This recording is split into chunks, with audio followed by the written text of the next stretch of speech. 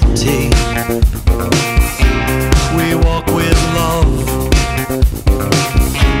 then fall to crimes of passion in shadows of streets.